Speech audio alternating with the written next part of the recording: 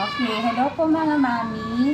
Ayan, so tuturuan ko po kayo kung paano po mag-feed ah, using NGT, lalo na po sa mga may baby na may cleft palate, gaya po, gaya po ng baby ko. Ayan po. Unang-una po natin gagawin, syempre mag-alcohol para malinis po yung kamay natin. Kasi napaka-sensitive po nila, madali po silang madapuan ng sakit. Okay, first po, ayan, i-check po natin kung tama po or naka-insert po yung NGT tube niya dun sa kanyang stomach. Yan. So, kailangan po natin ng shrimp. Kuha tayo ng ear.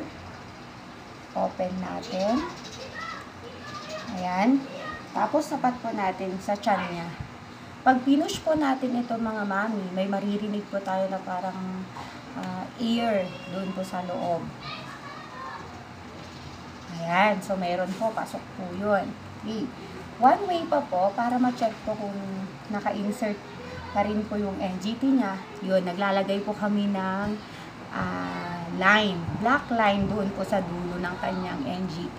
Ibig sabihin, kung naalis yon nahugot niya, ah, pwede pong mawala po yung ah, tube doon sa stomach or mapunta po sa ibang tube. Pwede rin po tayong mag-aspirate. Ayan.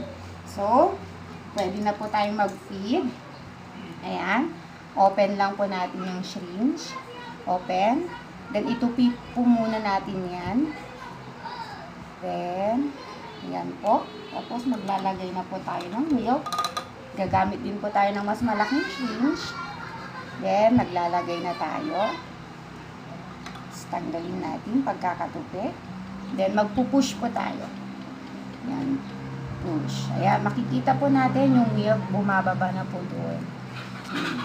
Mga mami, take note habang nagpapadede po tayo. At tingnan po natin, observe po natin palagi si baby. So, dapat kalmado po siya habang nag-feed po tayo. And, hindi po dapat siya umuubo. Kasi once na umuubo-ubo po siya, iba na po yung paghinga niya, ibig sabihin na po yun ay na-aspirate na po si baby natin. Yung tube sa dulo ay nasa lungs niya na. So, pwede na na po natin i-stop pag nagkataon. Ayan. Another reminders, mga mami, pag nag-feed po tayo, kailangan si baby naka-slant. Ayan. Mas mababa po dapat yung paa niya, mas mataas yung kanyang ulo. Para hindi daw po mag-backflow yung milk. Okay, another reminder po mga mami, pag nag-feed po tayo, mas maganda po yung tulog po siya. Kasi hindi po siya malikot. Ayan, naka-steady lang po siya. Kasi pag gising po siya, malikot po yan. At may tendency po na yung kagalaw niya po, eh mag-blow po siya. Ayan. Kaya mas maganda po pag nakatulog po siya. Ayan. Pag konti na, maglalagay lang po tayo. Ayan. Huwag po nating hayaan na maubos po yung milk dito. Lagay lang po tayo dyan ng lagay. Ayan. Okay. Oh, bait ng Mia namin, oh. Ayan. So, in case po na nagising po siya, gumalaw po siya, umubo, tatakpan lang po natin. Yan. Kasi, pag naggalaw po siya, gumalaw po, umubo, ah, magbabubbles po yung milk, tataas po yung milk, pwede pong matapon. Yan.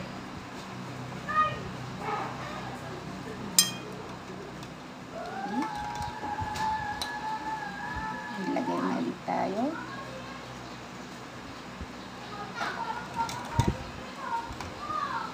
Siguro po maraming nagtatanong kung bakit po naka-NGT po yung baby namin.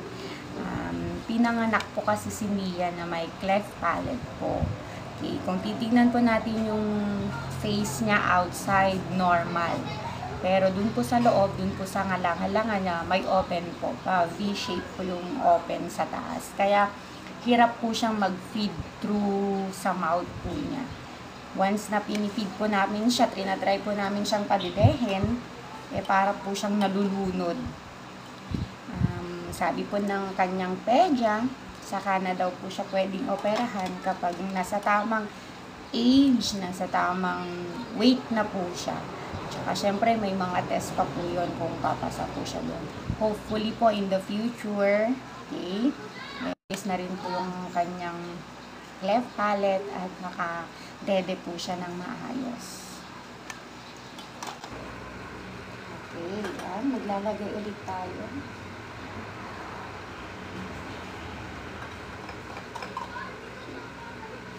Ang feeding po ni Mia, according po sa pedya niya, is 90 ml every 3 hours po yun. Tuloy-tuloy po yun, umaga, gabi. Basta every 3 hours po. Kaya talagang puyatan. So, kawawa si daddy niya pag nagpupuyat siya kasi panggabi si daddy niya pang umaga po.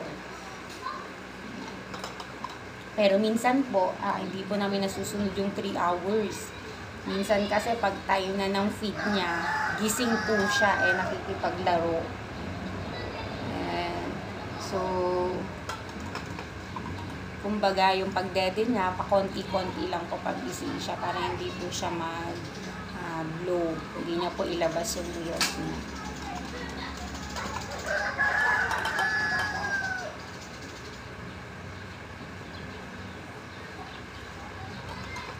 Ayan, very good ang lady namin. ah. Ayan, so ginagawa po namin to mga mamis ah, para matulungan po kayo ah, sa mga gaya namin na parents na mayroong issue yung na mga anak natin. Alam namin sa una talagang mahirap po itong gawin, nakakaba, nakakatakot, eh, nakakaawa sa part ng baby natin, pero mas nakasabi nga ng pedya niya, mas nakakaawa po sila pag wala po silang NGT at nakabatay lang po tayo sa mga finifeed nila through their mouth po. Karamihan nga daw po ng mga ma- may cleft palate na babies ay malnourished po. Kaya very thankful po kami sa bago nating technology at saka sa magagaling nating doktor at naisipan po nilang makagawa po ng paraan para mag-feed pa rin po sa mga babies natin. So, pag malapit na po, stop. Yan. Okay. Magpa-flash po tayo ng water para hindi po madaling mag-plug yung NGT ni baby. So, magdadagdag lang po tayo kahit 2 ml na water lang po. Ayan, pang-flash lang po natin sa uh, milk para hindi po agad-agad mag-plug po yung uh, NGT po nila.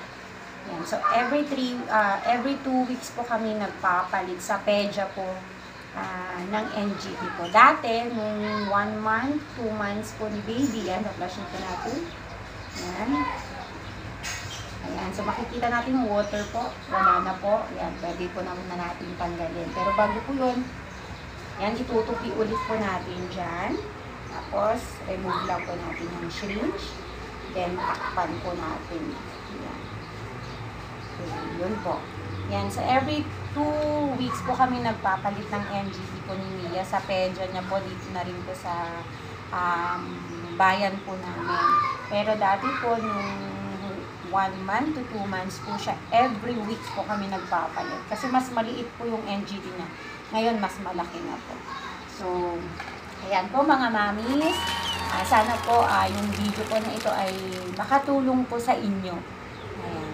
So, please subscribe po sa YouTube channel po namin. We will um, give you more um, information po regarding how to take care babies na naka-NGT.